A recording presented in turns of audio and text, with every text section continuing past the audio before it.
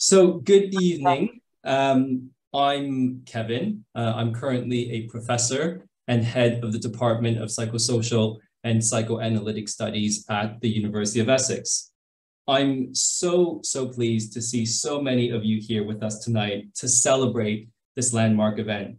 I can see colleagues from our Jungian and post-Jungian community of scholars and clinicians, some very esteemed guests, uh, and within that, I include all our students as well, because you are our colleagues, you are our fellow researchers, so welcome. I see colleagues from refugee care, colleagues from our Department of Psychosocial and Psychoanalytic Studies, colleagues from across the university and beyond. Thank you, thank you so much for joining us tonight. I just want to say a few words about the pioneering Jungian Studies program and pathways that were started here at Essex by Renos and Andrew, how central these programs are to the growth of this department, and why this lecture series is both timely and necessary. Now, many of you may know that both Renos and Andrew were named the first professors of analytical psychology in the mid-1990s. And in the first instance, these two strategic posts were supported by our friends and colleagues at the Society of Analytical Psychology. Together, Renos and Andrew created our MA Jungian and Post-Jungian Studies, which was first launched in 1997. This was such an innovation at the time, being the only MA level course dedicated to Jungian and Post-Jungian studies in Europe, and one of only a small handful around the world. Together, Renos and Andrew steered the degree through the troubled waters of higher education in the UK, revising, renewing, and reworking the program to suit the needs of a rapidly changing environment. During the pandemic, we adjusted and learned from the experience and launched our online version of MAJ to adapt to the changing circumstances in which people learn and want to engage in this particular course. And I'm very pleased to report to everyone that both versions of the degree under Mark's astute leadership are absolutely thriving. So both the campus-based version and the online version. The diversification of our delivery ensured the continued vitality of the program, that it continues to contribute to a department's agenda, and that it will continue as a going concern for many, many years to come. And as we speak, the MAJ team are hard at work to introduce further innovations to the program to ensure it remains a global leader in our multifaceted and multidisciplinary field. I'm also very pleased to report that Jungian and post-Jungian content forms a significant part of our BA psychosocial and psychoanalytic studies. And let's not forget the contributions our esteemed founders have made uh, to nurture the future academics in this field and beyond. So just looking within our current staff team uh, who specialize in Jungian and post-Jungian studies, there's eight of us all together. So phenomenal number, eight of us. Six have had a previous affiliation with Essex. Five of us have completed our PhDs here. So who are we very briefly? Soon after Renos's and Andrew's appointment, Professor Roderick Main was added to the team, followed by myself, uh, Dr. Mark Saban, Dr. David Henderson, Dr. Ann Addison, Dr. Urshwiya Lukash, and we're very pleased to announce that Dr. Monica Lucci has joined us as well. So welcome, Monica. The history of Jungian and post-Jungian studies at Essex is an inspiring one. It has made a significant contribution to the life of PPS. It's played a vital, pivotal role in our growth from center to department and remains one of the centerpieces of PPS as we march forward in our ambition to becoming the leading department of psychosocial and psychoanalytic studies, both nationally and internationally. With such a clear vision in mind, it would be remiss of us not to honor and celebrate the contributions Jungian and post-Jungian studies have made not only to the department, but to the wider interdisciplinary field of psychosocial and psychoanalytic studies. Now, the credit for this initiative, uh, for this lecture series, uh, really belongs to Dr. Chris Nicholson. So this was first started under his leadership, um, but because of the timing, the pandemic, and other factors, it's taken a bit longer than we had hoped to launch this event. But we're here, and that's the important thing. The lecture series is devoted to exploring the myriad of ways in which Jungian ideas have been critically assessed and expanded into diverse areas of interest and expertise. The series celebrates the multidisciplinary ethos of Jungian and post-Jungian approaches and seeks to highlight the groundbreaking contributions colleagues have made to clinical practice and academic research. This annual event further reasserts the department's place as a center of excellence and destination of choice when it comes to thinking critically about analytical psychology, where colleagues and students alike can benefit from diverse and world-class specialization. And with this in mind, who better than our very own esteemed professor, Renos Papadopoulos, to deliver our inaugural C.G. Jung lecture. I will now hand over to my colleague, Dr. Mark Saban, who is also the course director of MAJ, to introduce Renos. Mark? Thank you very much, Kevin. Yeah, I am uh, truly delighted uh, to be able to introduce uh, to you Professor Renos Papadopoulos today. Not only has his work been an important resource for me personally, and I'll say a little bit more about that in a moment. But I believe his writings, and here I'm not focusing uh, so much on the refugee work, which has rightly been honored many times by many people, but specifically on the Jungian, or should I say post Jungian writings. These texts are, I think, seminal for Jungian studies for several crucial reasons. Firstly, he is not and has never been aligned with any particular interest group within analytical psychology, within the spectrum. From the beginning, he's been his own man. Now, Renos arrived a little too late to be included in Andrew Samuels' Jung and the Post-Jungians, but the fact is that Andrew would have found it impossible to classify him in the way he does everyone else as either developmental, classical, or archetypal. Renos has cleverly avoided this kind of typecasting. And this originality is important because it's enabled him to simply write what he wants to write without feeling obliged to indulge in sterile internecine polemics.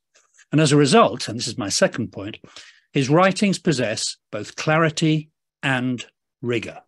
But, and I think this is important, he manages to achieve this without sacrificing psychological depth or losing touch with what Hillman would have called soul.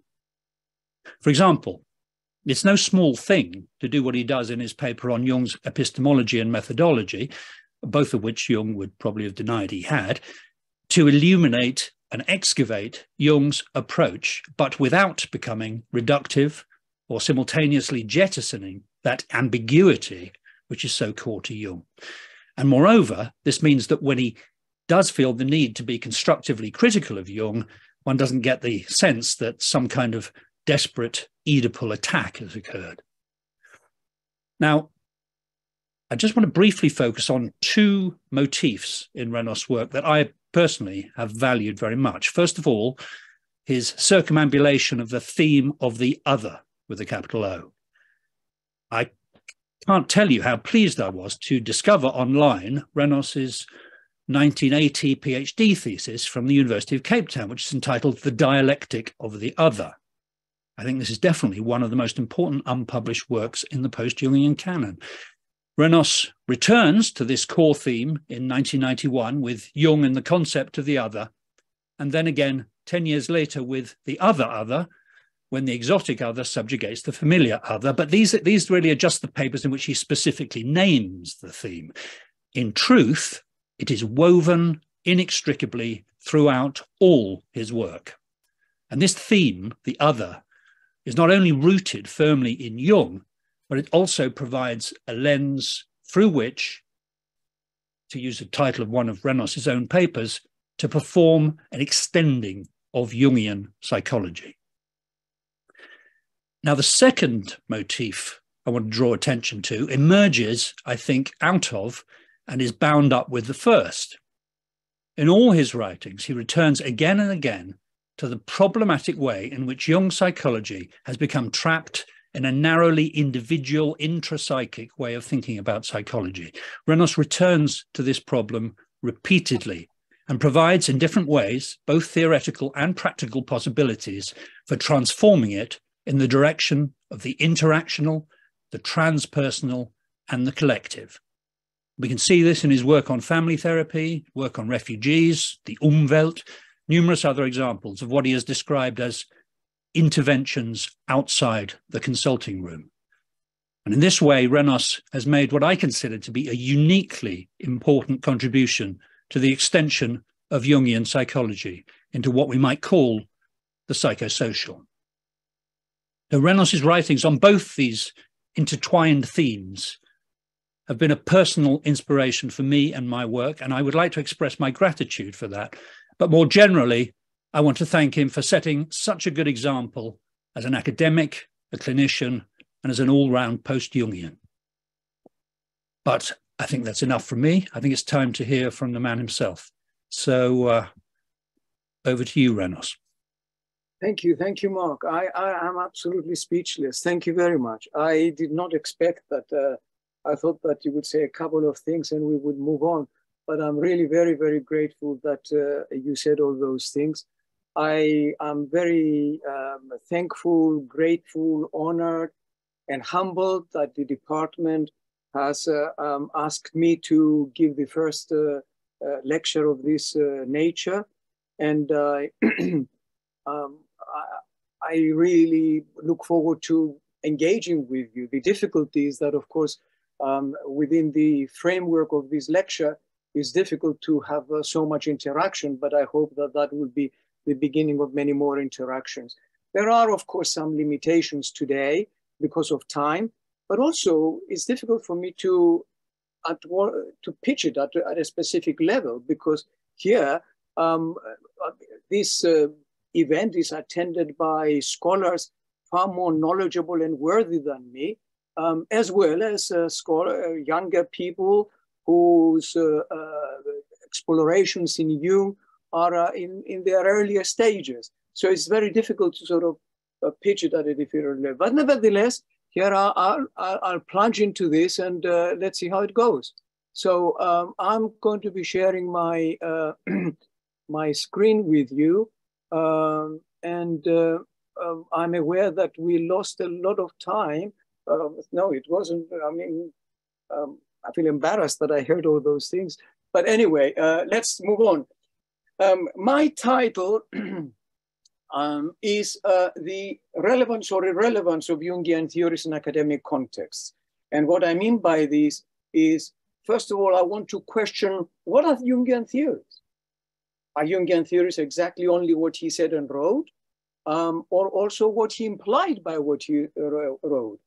And also um, something else. What avenues do they open up by what he, Jung, wrote and uh, or say and he did not do.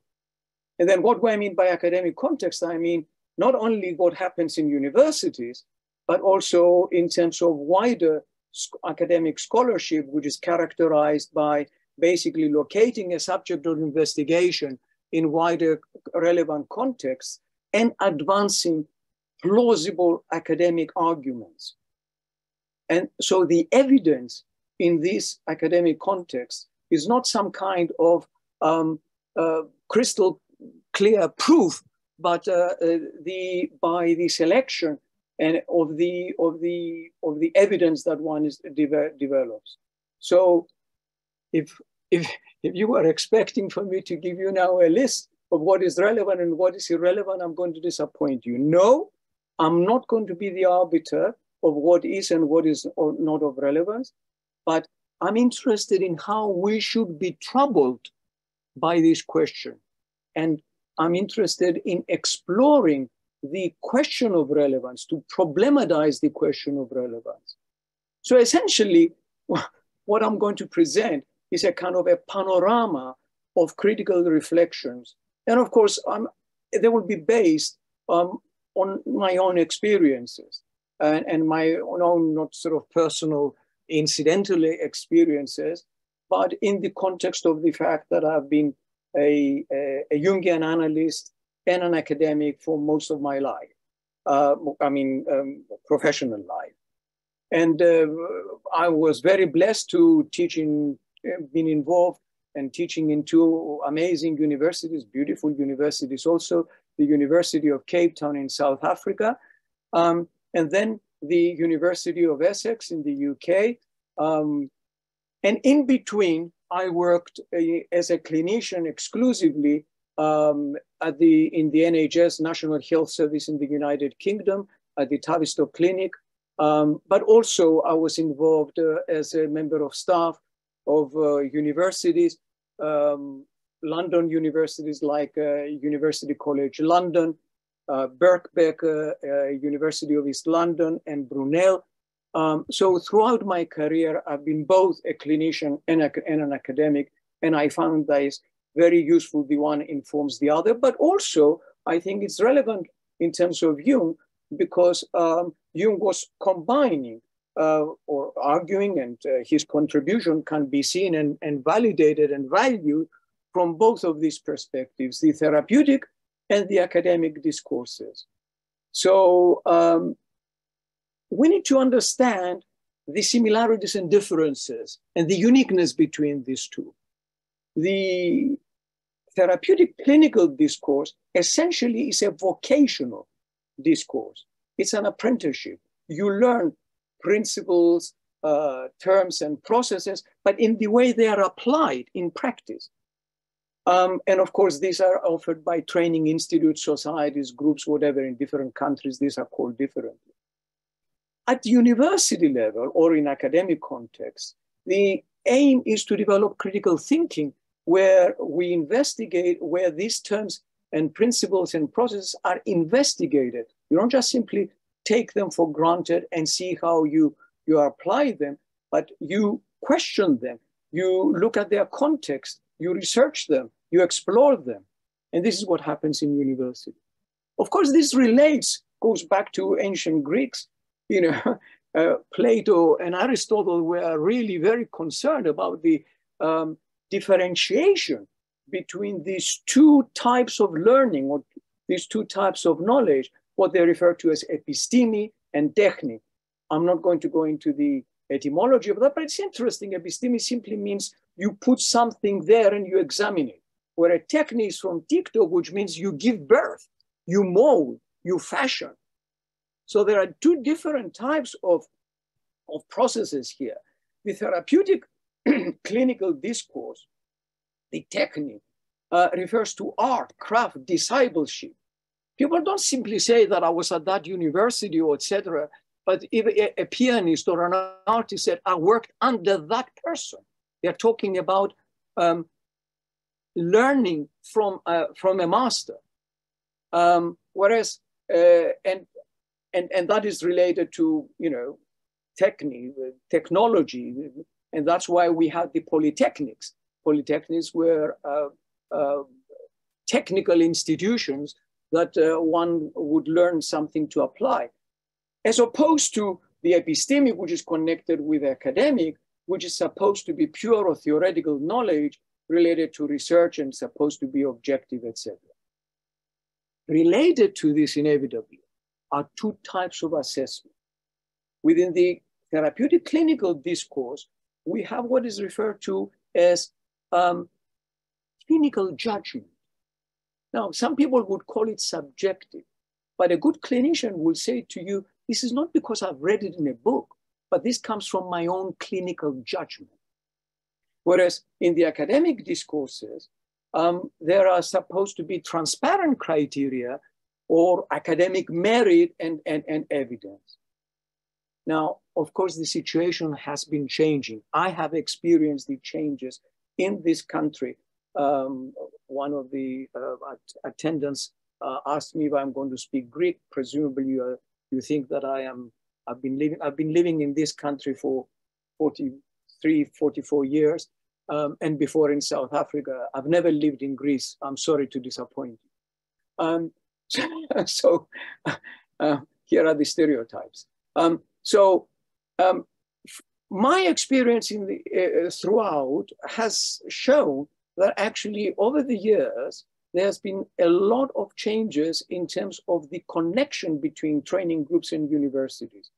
To begin with, they are completely independent because they follow completely different learn, learning uh, methods and different methods of assessment. Now they have been connecting since for the last, I don't know, 20 years or so, there's been increasingly closer links between therapeutic training groups and universities. And of course, for the training groups, there have been many benefits, such as raising standards, but also external validation and legitimacy. Legitimacy. A lot of people, are, by saying, oh, my brand of psychotherapy is taught at a university, means that you know it has some standing. And of course, there have been benefits for universities insofar as they are engaged increasingly in terms of their impact they have in societies, and they are not just simply abstract academics. Um, and, uh, and, and also, of course, inevitably for financial gain, certainly in the UK, the way that universities have been funded um, um, has changed radically, so they need much more income. But these changes in the mode uh, of university teaching and learning, of course, on the one hand, some has some advantages in terms of the cross-pollination and, and the enrichment, but also there are some there is some increasing confusion and we need to be clear about that. What you are teaching in a, in in a, in a, in a, in a training society, you cannot just simply take it and bring it into a university. No, there it needs to be questioned. It's not just simply to learn it how it how it has been taught by the elders. Um, and Jungian theories are at the crux of that. Jung has been struggling all his life about the legitimacy of his, uh, of his, uh, of his uh, theories and of his work in general, asking, you know, saying, well, I'm a, I'm a clinician. And, he, and, you know, if you want to judge me, look, what I'm doing works. Um, and other times he sort of said, no, no, no, no, listen to what I'm saying because what I'm saying is theoretically valid. And he was struggling with that. Listen to his sensitivity, how he's dealing with this.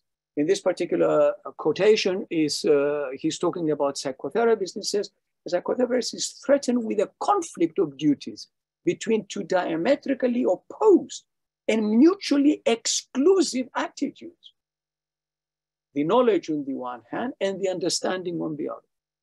This conflict cannot be solved by an either or, but only by a kind of a two way thinking, doing one thing while not losing sight of the other.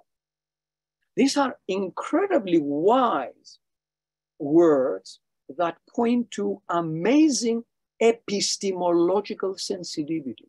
On the one hand, he tells us that they are met, that they are diametrically opposed.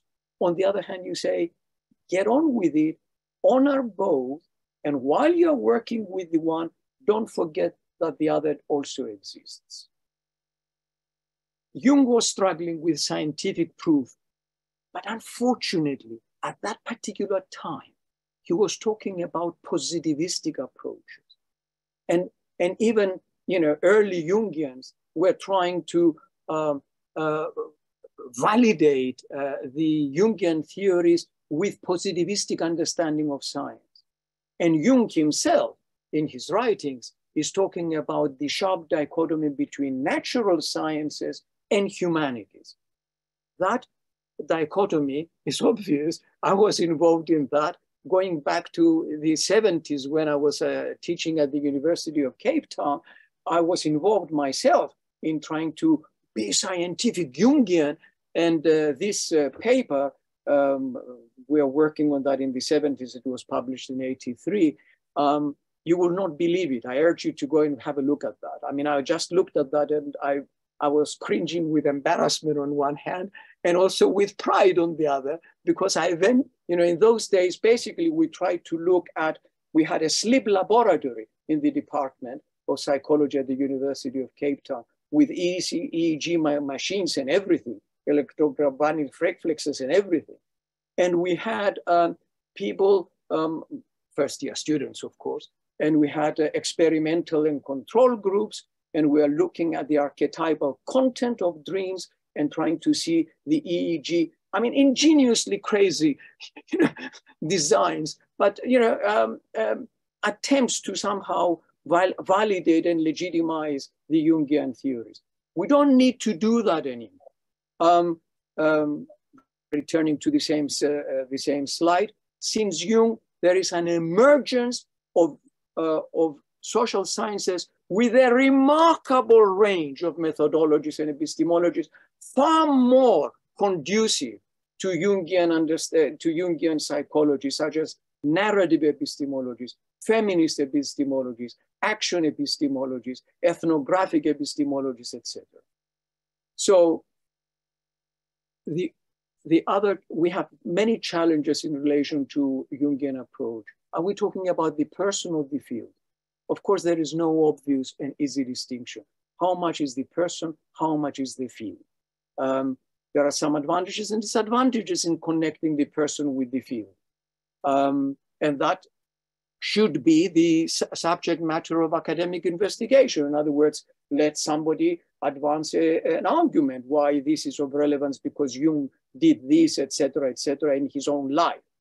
Um, but then we need to actually question, I mean, what is a Jungian field? Is there a Jungian field or is there the Jungian field? Um, and where does it start? Is it before Jung? In other words, the uh, 19th century uh, associationist movement in Germany or whatever. Um, there's the Jung himself after Jung or wider context. What is Jungian? And who is Jungian? Um, and of course, I'm not interested in the polemics as to whether somebody says I'm a Jungian or, or I'm more Jungian than you, or I'm 20 grams or 20 percentage more than Jungian than you. I'm not interested in that. I'm interested in terms of, you know, how much of what Jung was saying was actually Jungian? How much of what Jung was saying was actually Jungian? And of course, what do we mean by Jungian? So we need to be troubled by these questions. Is there a one and coherent Jungian uh, system? Do we have, I mean, is Jung just simply a clear black and white image? Or is it a mosaic, colorful mosaic of different images, of different parts of Jung? And I would argue that that is the latter. There isn't any one coherent, crystal clear you. Um, by the way, this is an image that one of my daughters, who's a painter, painted it, and the other daughter who uh, deals with computers uh, messed it up uh, um, digitally. And that has been used widely by the University of Essex to refer to our Jungian studies. Um, so um, we need to keep on looking at the challenges that the Jungian uh, uh, approach uh, presents. For example, here I'm enumerating um, some of the um, oops, some of the um, themes that Jung has dealt with: trauma, families, word association, typology, complexes, etc. All of these things that we all know. Are all of these things Jungians? For example, I really challenge you. Think seriously. Look at, go back into the collected works. Jung uses the word trauma exclusively to refer to a Freudian understanding of trauma. He, at no, in no way Jung says, this is my understanding of trauma. He doesn't. Wherever you see trauma is, you, is Freudian trauma. So do we take that actually the, the the Jungian writings about trauma are Jungian? No, they are Freudian. Because when he moved on, whatever he refers to what you and I call trauma, he did not use the word trauma. And this is something that I'm going to um, discuss uh, later. Um, Jung worked with families and he abandoned it. But I picked it up and I think there is a lot of fruitful stuff there. He didn't think that it was Jungian. The majority of people in Jungian trainings, they don't include it. This is an example for me. I don't, we don't have time to go through all of that. To pause and question, what is Jungian from Jung? Above all, we should not forget what Jung time and again, time and again bombards us with saying, I have set up neither a system nor a general theory but have merely postu- formulated auxiliary concepts to serve me as tools. He keeps on saying that. Do we say, oh no, he was actually modest, but actually he does, and we construct this system? Or do we take him to his word? I think we should take him to his word. That's my argument, but let's discuss it. Listen to this. He's saying that my concept of the archetype or of psychic energy is only an auxiliary idea which can be exchanged at any time for a better formula. Do you understand what he's saying? Can you imagine that some Jungian group now all of a sudden says, we don't use the word for uh, uh, uh, archetype because we found something else? There will be civil wars in those societies. We have wedded so much to that word. There, Jungian says, oh, it's a mere auxiliary idea. Change it, no problem. And he tells us why. We know that in the mind of the creator of new ideas, things are much more fluid and flexible than they are in the minds of his followers. They do not possess his vitality. The followers do not possess the, the creator's vitality. And they make up for his for this deficiency by a dogmatical allegiance. In other words, followers, they don't understand the complexity and they hold on to a dogma in exactly the same way as their opponents, who, like them, cling to the dead letter because they cannot grasp his living content. You see, Jung is equating the followers and the opponents in the same category insofar as they hold on to the dead letter rather than seeing the vitality of a creation. So much so as we know that it is said um, that actually when the, we, know that he did not want a, a, a, a, uh, um, a an institute to be founded uh, in, in his, uh, for, for, his psychology, he called it a mausoleum. Franz Jung told me once, he used that word, mausoleum. I don't want a mausoleum. Um, and it is said that he said that my grandfather, Carl Gustav Jung, once founded a home for retarded children. Now I'm finding one for retarded adults. So, so all of us are the retarded adults of. Uh, um, no, this is not a photograph of the retarded adults. I'm trying to move on to another theme here. I don't believe any of you know who this uh, young man here is. Uh, this young man is Yosif Vissarionovich Jugashvili, um, who is, of course, uh, Yosif, uh, Yosif Vissarionovich Jugashvili, Stalin. Now, why did I mention, did I show this? Because that photograph there is when Stalin was in a religious seminary. He was training to become a priest. So are we saying that because he was becoming a priest, he was a man of God until the, at the end of his life? We're talking about transformation. Now, somebody may say, and that can be argued, and that's very interesting academic uh, debate as to whether his religious zeal moved from religion into um, communism. That's another interesting and plausible uh, idea, and that's interesting to, to discuss. And I'm going to, in order to drive my point home, I'm going to show you some other examples. Um, I don't think you know this young boxer here. This is uh, Nelson Rolihlahla Mandela, and uh, uh, he started as a, as a boxer.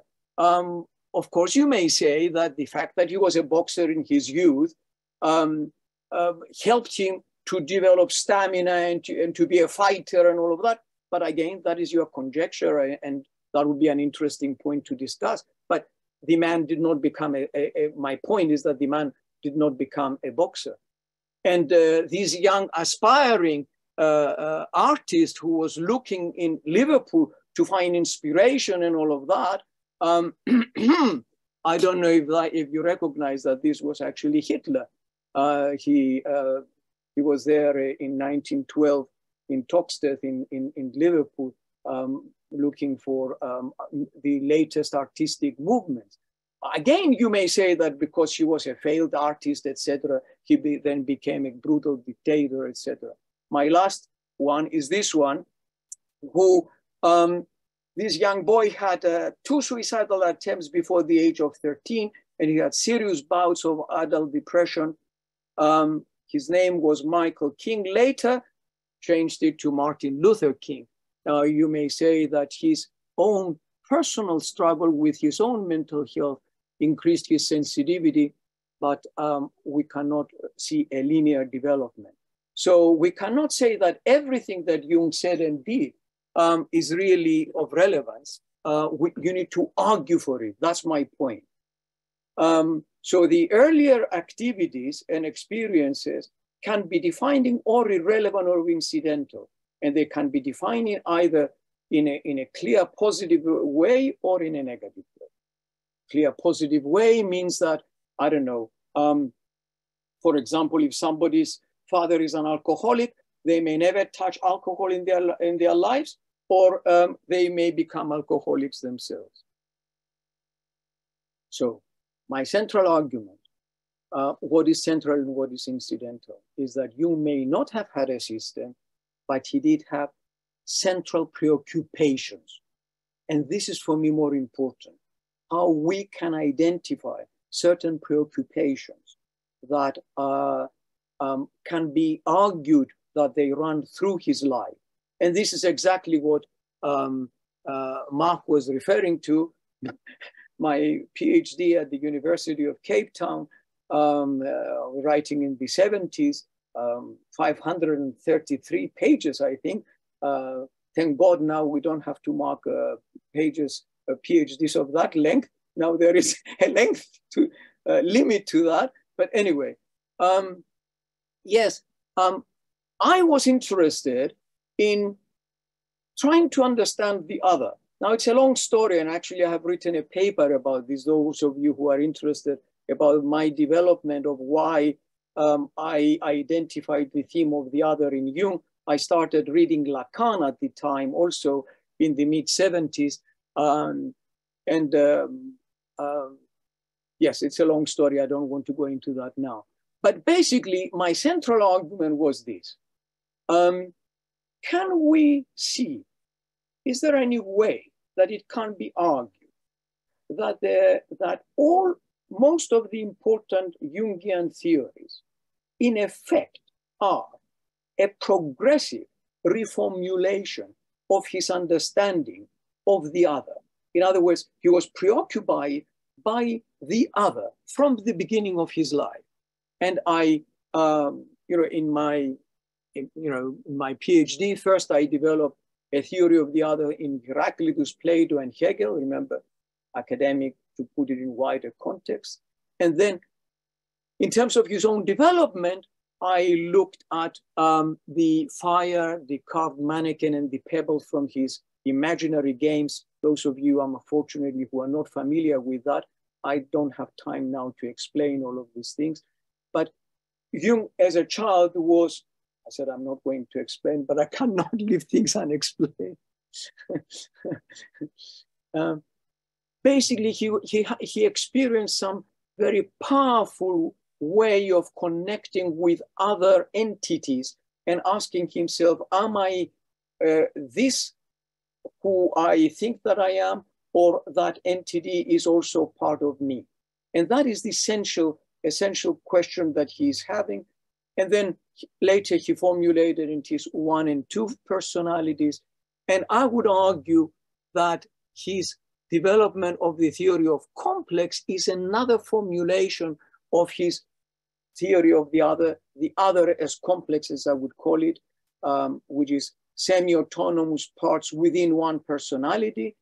The other as symbol, which is um, autonomous uh, entities in the collective. Symbol has collective uh, uh meaning. And then culminating to the archetype, which is both intrapsychic and collective. And the dialectic is that it is both internal and external, specific, etc., um, intrapsychic as well as society. Jung was telling us all the time that his theoretical positions become dated and they evolve. And I want to give another example of some of his genius and some of his uh, uh, shortcomings. And I've picked up on, on, on a word that he's using four times in the collected works, the word metania. Um, or in English, they refer to it as metanoia. Um, he is writing um, the fourth, for the, the forward to the fourth edition of his Symbols of Transformation in 1950, and he's referring to his book uh, in 1911. And he's saying that I've I wrote that in, in my 36th year. The time is a critical one, for it marks the beginning of the second half of life, second half of life, when metanoia or metania uh, in Greek, a mental transformation not infrequently occurs. So he's telling us that, um, well, don't look at this formulation. That was when I was, uh, it was my earlier part of my development, following my substantial transformation through metania, I am now looking at things differently. And Jung does several times that. I found several, we don't have time, I've found several occasions where he tells us how his uh, uh, writings are dated and he's pointing that actually he's thinking differently. Do we do that? Or we just take whatever we read out of context? But then he is also using the word metania in another context. And he's saying there is only one remedy for the leveling effect of all collective measures. This is about writing about uh, um, uh, flying saucers uh, and UFOs. Uh, and that is to emphasize and increase the value of individual. The fundamental change of attitude, metania, again, is required. A real recognition of the whole man. This can only be the business of the individual and must begin with the individual in order to be real. What he's saying now is that this change of transformation in second half of life moves a person from being a collective person to focusing more on themselves. Fine, no problem. But let's pause. This is the difficulty with you. He's taking one term, but he hasn't actually researched it sufficiently although he knows a little bit about the church fathers, the church fathers are talking about nous, um, not referring just the mind, but also the heart. They refer to the totality of human faculties that make a biological being become a human being, a person. In Hebrew, because this is a, a biblical uh, term, this, uh, in Hebrew, the term is teshuvah. Teshuvah. Teshuvah means turning. Shuv means turning. And Teshuvah, metania, which unfortunately in, Greek, in, in English is, is, is, is, interpret, is, is translated as repentance. Repentance is one of the um, consequences of metania. Metania is a much deeper transformation. What is teshuvah in Hebrew? Is the turning to become aware that God is calling me. It's an amazing concept. Is that turning? So I don't carry on anymore on my own, my own way, but I turn and I realize that God is calling me. So it establishes a different epistemological perception a different understanding of myself that now I'm part of creation, etc., etc. So it transforms in, so it becomes a little bit almost opposite to what Jung is saying superficially. Yes, I focus more on myself, but in a sense, I do not focus on my usual way of going ahead, which Jung would correctly say it's my ego, but I become aware of something that I'm driven what am I driven? I, and I belong to something bigger. So it's a different collective. It's a healing collective that unfortunately you did not identify. The transformation that these changes is the transformation of metania is fundamentally changes the whole being, their understanding of themselves and of others, of everything around them, of, uh, around them and of, of life itself. Jung grasped the fundamental nature of this transformation, but unfortunately he reduced it to second half of life and turning from the collective to the individual, which is not entirely wrong, but it, the way it sounds, it does not include the richness of the metania that initially he used. And of course, we know that in terms of the collective, Jung was very ambivalent or actually very negative. Um, paradoxically, he did not appropriately differentiate between the social collective, the society, with the amorphous masses. He was influenced by Gustave Le Bon, who was talking about the, uh, um, the mass, the crowd, and all of that. And he had a polarized posi position, per perception in a rather crude way, unlike Jung. In other words, there are many things that Jung did that are unlike Jung. um, so the individual is good, the collective is bad in a blanket way. No, he had no positive appreciation of the healing power of the collective support and relatedness, relatedness. Yet, of course, he praised the exotic collective rituals of the primitives. But for us, the fallen people, uh, there is no uh, uh, healing of the collective. As you may know, I have also uh, made another distinction of two Jungs when we're talking about Jungian approach, which Jung? And I, I called the one Socratic ignorance that Socrates, Socrates was saying, I don't know what is, I don't know. Um, I, what, the only thing I know is that I don't know, which means that I open up the investigation. Um, and then also the Gnostic knowledge, which is a closed epistemology. I know I disagree with a lot of my uh, dear Jungian friends here, but the Gnostic uh, uh, epistemology of Jung for me is very problematic.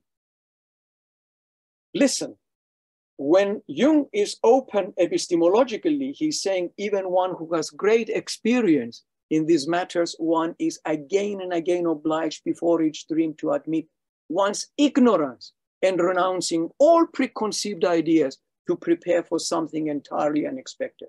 Openness, openness. Let's engage with each other and see how what we can create. That is the essence of the alchemical approach, as opposed to the Gnostic that I know what is happening, nothing but that he was ridiculing Freud, that he was following and nothing but psychology. And he is to all the causal, the reductive, uh, causal reductive explanations scornfully and beautifully. Jung was amazing in doing that. And he's talking about the theory and practice of trauma according to Freud. And he says it is delightfully simple, delightfully simple. I love his these quips that Jung has occasionally. Delightfully simple. In other words, you have an external event, people have trauma, and then you are reactive and everything is fine. Delightfully simple. He's attacking that. He's attacking that. So I'm interested in Jung's epistemological insight. And I keep on insisting there. And I regret that there is not much writing within the Jungian scholars about his epistemology because he was emphasizing the psychological implications, the, the impact of belief in spirits, religion, political movements, etc. And there was a lot of misunderstanding. For example, with his, doc, with his own doctoral dissertation, he's talking about uh, spiritualism, people believing in spirits. Jung did not, did not say, I believe in spirits or I don't believe in spirits.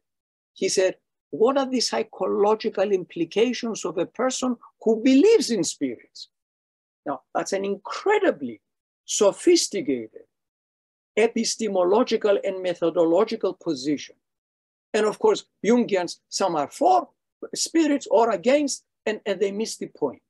But of course, um, this psychologization that he's, that, sorry, the, this focus on the psychological dimension is important but also can lead to psychologization, which means that you use exclusively psychological means to understand complex phenomena that are not exclusively psychological. For example, political phenomena, like when we say Saddam Hussein is the archetype of evil. No, he's not the archetype of evil. He's he, he belongs to a certain socio-political and historical and economic context. And if we don't understand that, saying whether he's the archetype of evil or not is of no relevance. We are confusing the issue.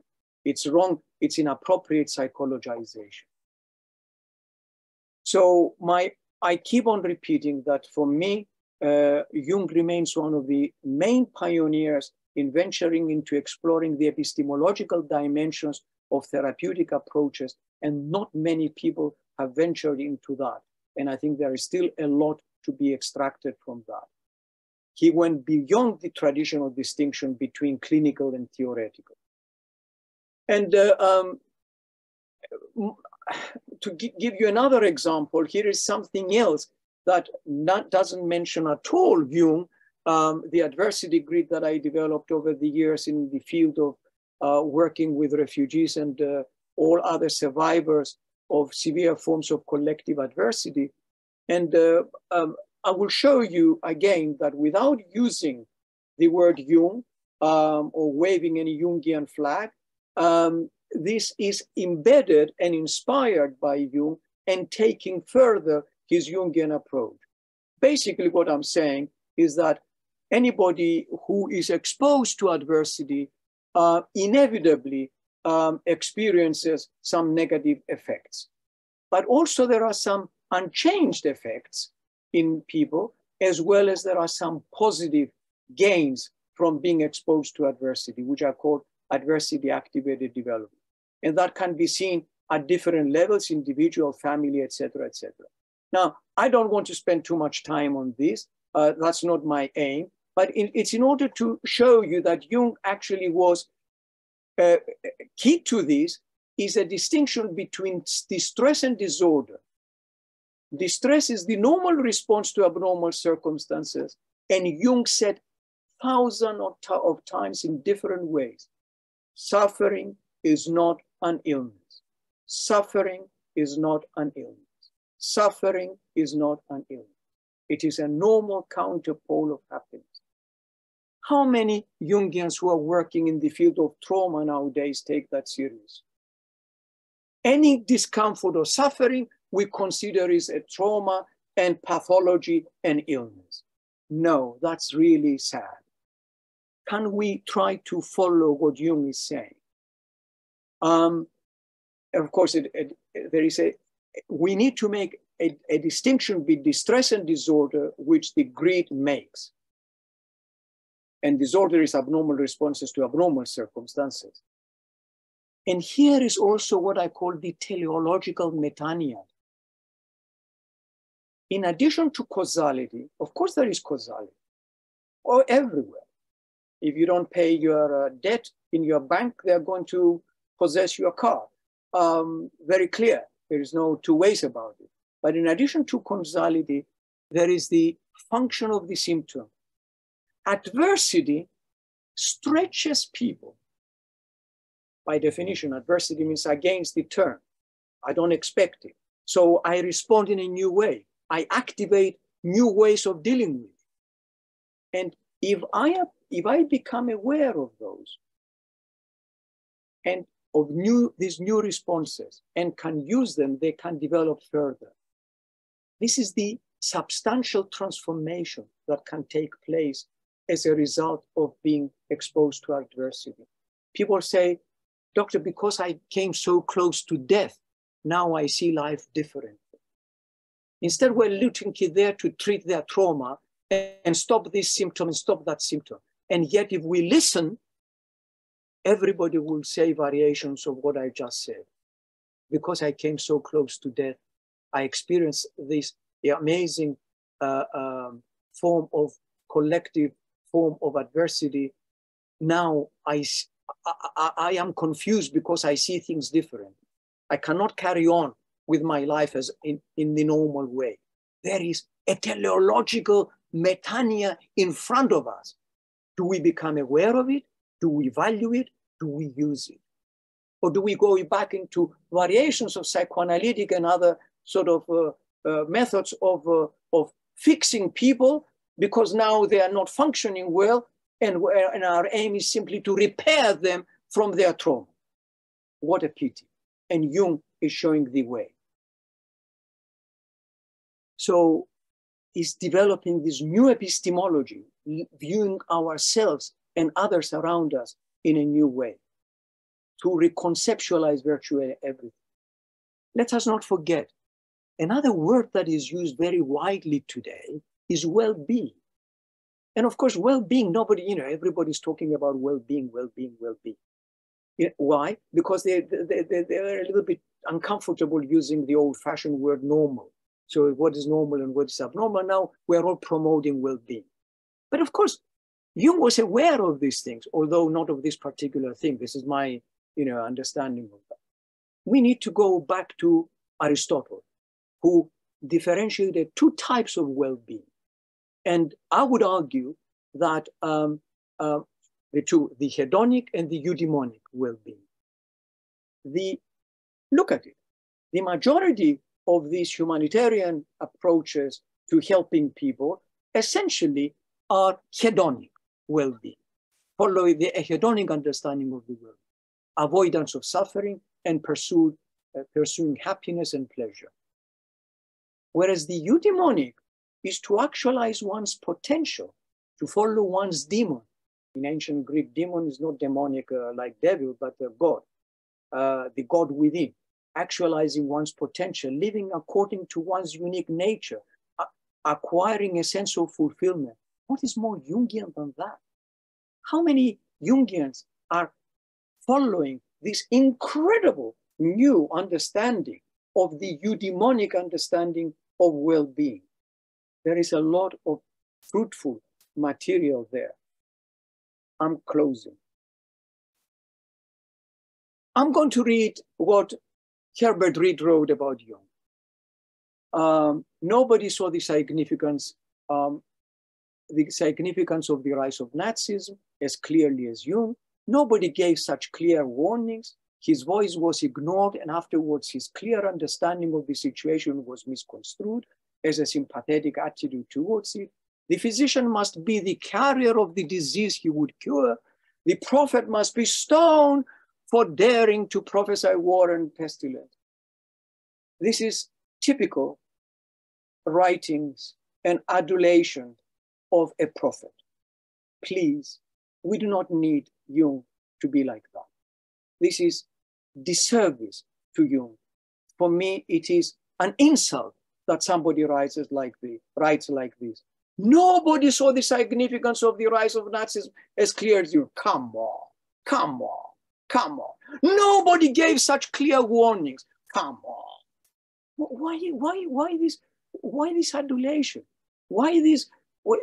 That's disservice. Jung doesn't need that. Jung needs straightforward people who are going to look at his pointed direction rather than adore his pointing finger. In my, in my, in my dissertation, um, paraphrasing Alan Watts, um, back in, in the 70s, I wrote, it is rather unfortunate that after a great man's death, his followers tend to stare in adoration at his pointing finger rather than trace the implications of the pointed direction. And I'm afraid there is a lot of that happening now.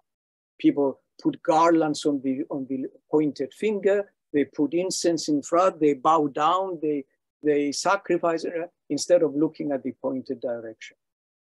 I end with Jung's words, who said to Freud, one repays a teacher badly if one remains only a pupil. And I look forward that these Jung lectures and what we offer at the University of Essex, but in general, promote further the Jungian scholarship.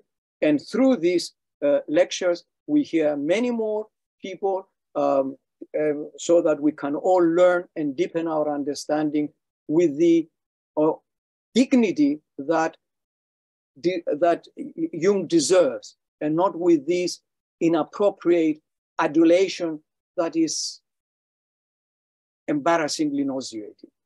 Thank you very much, and I look forward to engaging with you with uh, uh, um, um, any of your questions. Thank you very much.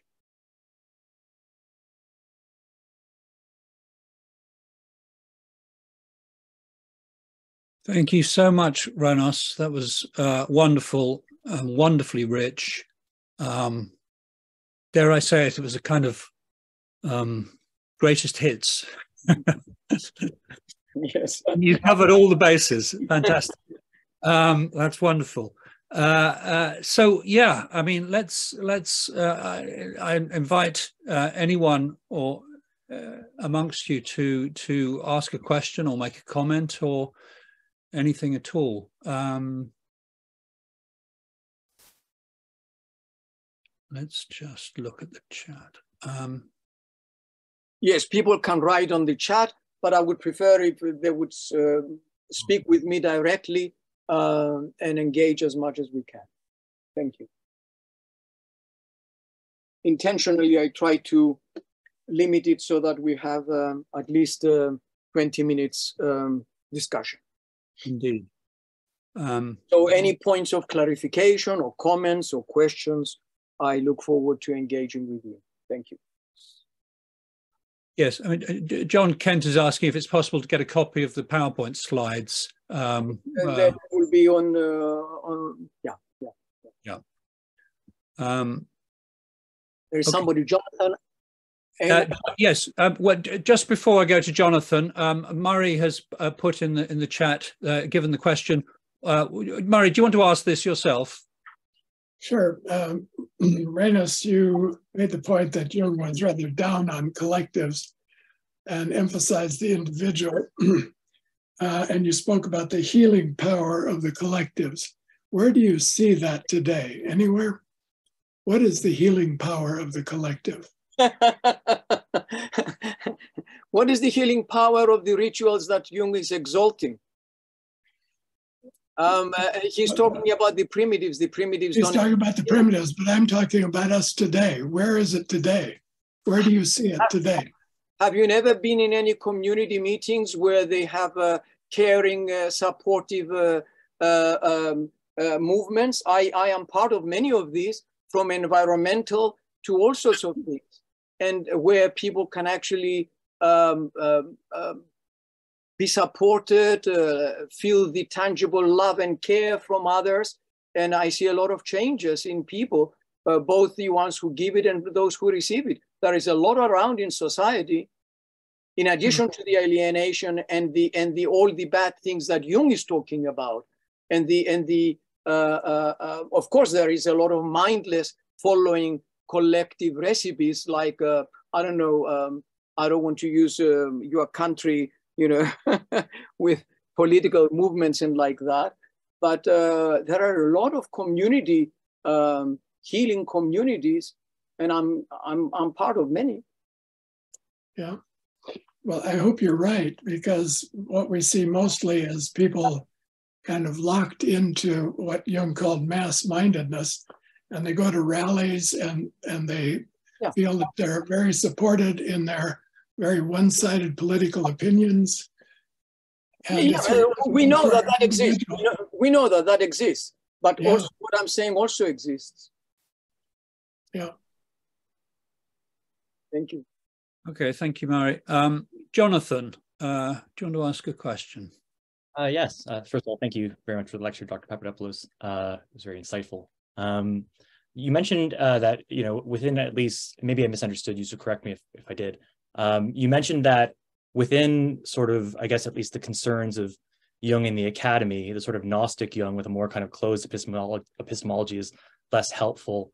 And I'm wondering, um, you know, whether you can see or, or where you see the sort of positives of that uh, that part of Jung's opus in terms of, you know, maybe outside of the academy or or where it could be integrated in clinical work, uh, in other aspect, in other sort of realms of thinking or being? I, am not sure what your question is. Is uh, you mean his interest in, is in Gnosticism or, or, or the Gnostic epistemology? Because these are two different things. Okay, yeah. So I guess if you could clarify maybe the distinction, then that would be helpful.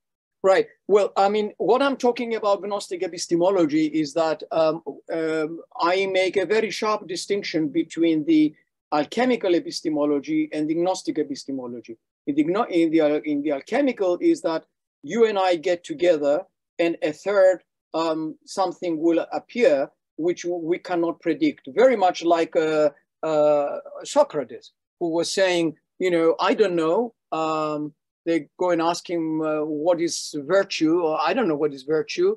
Uh, Socrates says, let's engage. You know, why are you asking this, etc. And in the interaction, something emerges. Whereas the Gnostic epistemology, there is something very clear that the initiate knows and uh, needs to part on to you. Um, so there is no openness. And of course, there is elitism there. And there are many abuses uh, in the antiquity of uh, Gnosticism and even today. So um, uh, that's what I'm talking about. I'm not, I wasn't saying that that is in the um, academy. I didn't connect it with the academy today at all. Um, but yes, some academics tend to become more gnostic or more alchemical. It depends on, on them. But uh, this is what I was referring to a closed system, which is uh, like uh, Jung is uh, mocking uh, Freud and saying is delightfully simple. It's so nice to say, you know, there is an external event creates a problem, and then you know you, you react, and that's fine. That's fine. He's saying to him. That is Gnostic epistemology, very closed. Uh, I people, the expert knows, knows the answer, whereas for whereas the uh, the whereas within the alchemy, the expert knows the procedure, not the answer. And that's why you get a lot of different analysts, analysts who go there and they, you know, um, can tell you exactly what you should be doing in your life whether you, you know, uh, or others who sort of say, I don't know, you know, your life, you are more expert in your life. I'm here to help you um, develop um, uh, a deeper understanding rather than me telling you, yes, you should leave your wife or your husband or whatever, uh, or you should uh, study this or you should study that. And Jung was, Jung was doing both. This is my point. And he was not aware of that. Hmm. This is my argument. Sometimes you read Jung and he's terribly agnostic, very prescriptive, knows everything. And another one, um, um, he says, no, I know nothing. I'm just uh, investigating. Archetype, change it, man. No problem for me. Just find something more relevant. I love that Jung. I don't relate very much to the other Jung, but I know a lot of other Jungians, and especially if you want to have a, a system and a mausoleum and all of that, you, people need to have some certainties. I love his uncertainty, his conviction in his, of his uncertainty, his, his, his, his confidence in being uncertain and trusting that that uncertainty will lead to something constructive. That's teleology in the making, in happening. Otherwise, you know, usually we have these sort of slogans, yes, or Freudians are, are deterministic and Jungians are uh, teleological. But in what way are they teleological? Either theoretically or clinically. I've seen very little evidence of actual documentation of teleology in practice. It's just slogans by and large. And I say, what a pity. Thank you. Thank you. Calypso, uh, do you have a question? Uh, yeah, I do. Hi. So my question is that I have been doing a little bit of research on various, oh, various aspects, and I've realized that a lot of the research that is done nowadays is going more towards political views. And my question is, why is this happening? I was looking for something related to education, and there's not a lot of it relating to Jungian uh, things. It's more going to the political side. So I'm wondering why do the Jungian community is going more towards that way? I don't know. Uh, you must ask those who do it. I don't know. I cannot I, I cannot I don't know. Okay, sorry. Thank you. That is if that is your impression. Um, I don't know. I mean, um, um, I don't know. Um, I mean, um, I've been working with governments. I've been working with, uh, you know, um, I, yeah, I, I, don't want to go into that. I, I mean, uh, uh, it's, uh, I don't, I don't understand exactly what you mean by that. Uh, there is emphasis on the political, and uh, yeah, I don't know.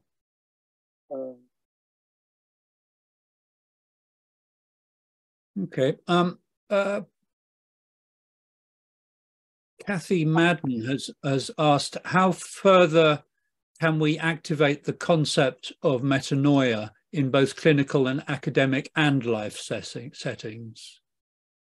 I Big think, I think, thank you, a very good question. I think, first of all, it's important to, to, to, uh, to study that more and try to see, I think there is a lot of fruitful application, but first we need to understand it deeper and, uh, and study a little bit more that. But essentially, it is that kind of transformation that changes, I suppose you, using Jungian terminology, it, it, it clicks from the ego perspective to a self perspective. Um, that is what Jung really was referring to. Um, I'm putting words in his mouth, but I think he would have approved of what I'm saying. Um, it's that kind of transformation, the clicking from the one to the other. And uh, I think that there is uh, um, a lot that we can learn from that. Um, but I love the idea of teshuvah uh, because you don't carry on work, but you turn back. You turn back and you realize something that was happening and you are not aware of. In this particular context, is that God has been calling you. It's that that's the language. Um, you need to translate it in your own language. Um, in other words, what is it that has been happening and we have not been aware of? And by becoming aware of, we change the way we see ourselves, our own goals, our own understanding of ourselves, etc. And then a person can, I mean, I can tell you, I mean, I, I, I work with people who, you know, have been tortured, uh, who have been refugees, who have been uh, uh, trafficked and uh, etc. all over the world for 40 years in 40 different countries. Um, and I hear a lot this from people that after these extreme experiences of adversity, um, they inevitably they see things differently, and they they almost stop themselves and say, "What have I been doing?" It's that kind of teshuvah. They turn back and they say, "Who am I? Why was I going this way? Why should I waste my time learn, earning more and more money and not uh, spending time with my wife and children? Why don't I spend more time looking at the sun and valuing nature?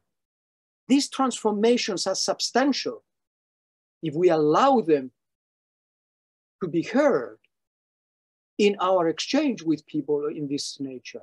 If we're there to repair their damagedness from being traumatized, we'll never see anything we see ourselves just as repair people, like a, like a garage mechanic. And most of psychology today um, is just uh, training car, garage mechanics to fix cars or to fix people from their discomfort and, uh, and, and suffering. And Jung is saying suffering is not an illness. Suffering is not an illness. And said people cannot develop if they do not even uh, uh, deal, you know, accept their own measure of suffering, etc.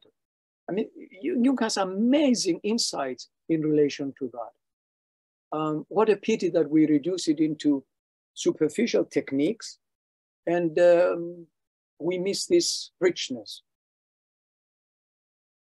Thank you. Thank you, Renos. Uh, Christiana.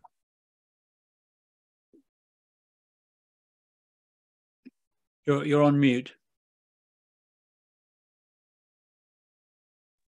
Hi, sorry about that.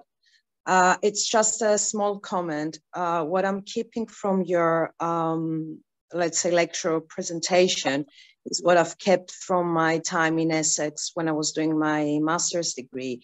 is the critical thinking and the non-dogmatic thinking. And I think it's really crucial and really important in all aspects of clinical work, of understanding society, of relating to each other. Dogma has been a real issue, especially in psychoanalytic societies and circles. And I think that it deprives us from developing and learning and understanding uh, deeper what was written. And I really liked what you said about the uh, dead letter, I think you mentioned, or the past letter. And we, we need things to be alive again through discourse and discussion and arguing and different opinions without being dogmatic. So just a comment. These, these, are not my words. This is this are this is what Jung Jung's central message has been throughout, and I respect it deeply. And I lament that uh, a lot of uh, Jungians and Jungian societies ignore that, and instead they get into bickering into, as to this and that you know, about uh, who is more Jungian than other, Jungian than thou. Yeah. Right. Um, Chris.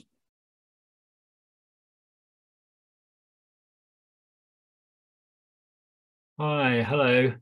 Um, Renos, thanks very much for such a, a, a wide-ranging um, presentation. So much going on in it. I've got lots to take away and I should be going to some texts and books and libraries to follow up on some of these ideas and concepts.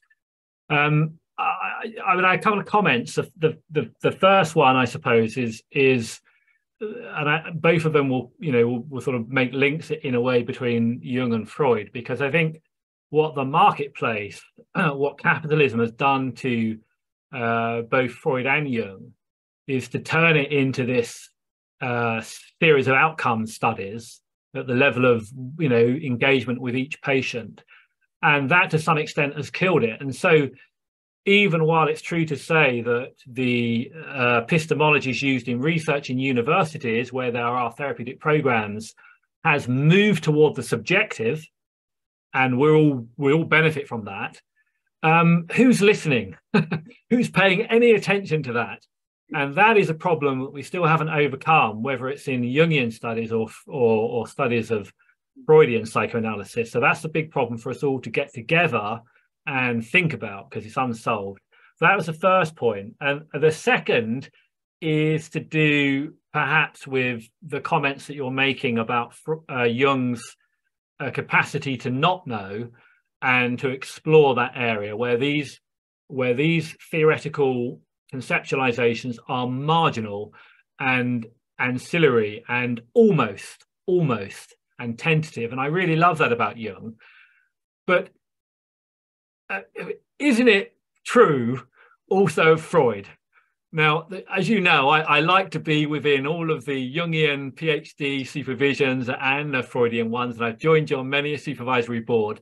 But isn't it the case that Freud is always saying, I don't know this, um, I can take the argument up to this this far, and then after that, I can go no further. And he's constantly doing this. And to some extent, that capacity to not know and to recognize the limitations of one's own, you know, intellect and ignorance is something that Freud and Jung really share. Um, and it's interesting that your work, as as I think Mark describes it really brilliantly about the about the other, because of course they found the other in each other and that that has not ended well. But they, there's so much more in common that they have in their theoretical conceptualizations. You know the self-regulating psyche the return of the repressed these are very similar conceptualizations. That they're coming from a different points of view. So i suppose i want to just sort of push back a little bit uh, and um, maybe they're connected issues because i think if the jungians and the freudians were a little bit more connected a little bit more in discourse, we would apply ourselves to some of these social problems, like the mechanization, and the manualization of very deep therapeutic engagement, um, which is destroyed um, currently. You know, it's being destroyed currently. Um, so I guess they're, they're, linked questions in a way, but but yeah. let's you know perhaps there's some reflections on those those comments. Thank you very much. Thank you, Chris. And you are absolutely right. The difficulty, of course, with uh, within the Jungian camp, so to speak, is that um, by and large, they understand Freud according to Jung's own writings of Freud, which basically he was not aware of Freud after they, you know, after 1913.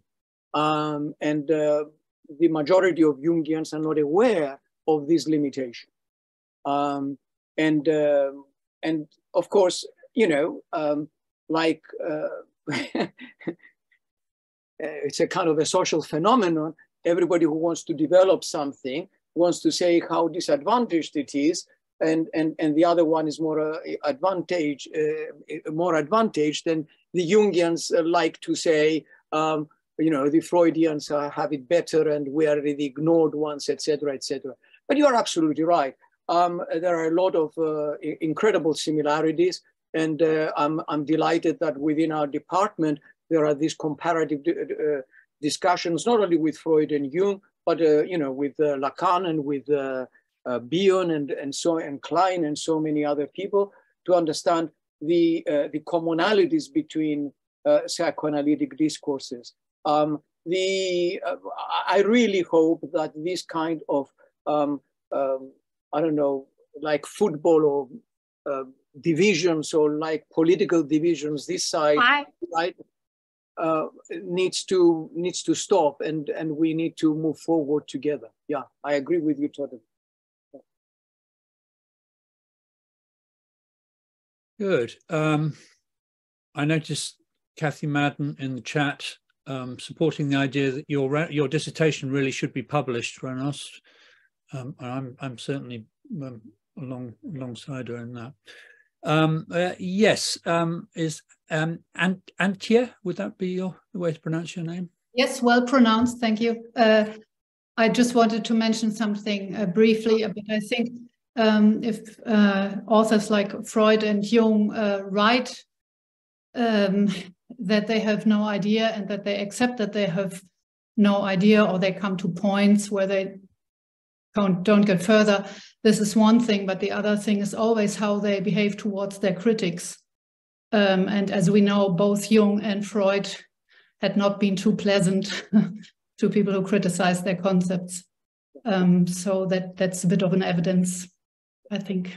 Yeah. Well, we should not forget that these are not just simply we are treating them now as ideas, but these these oh. people with uh, vested interests, with lives uh, and reputations at stake, and we need to understand with empathy that uh, they were struggling with each other, etc., etc., and their followers, and they still do.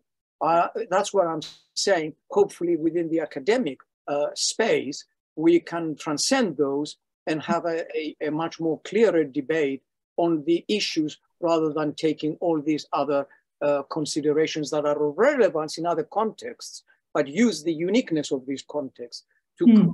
these kind of dialogues. Thank you. Yes, thank you. I agree.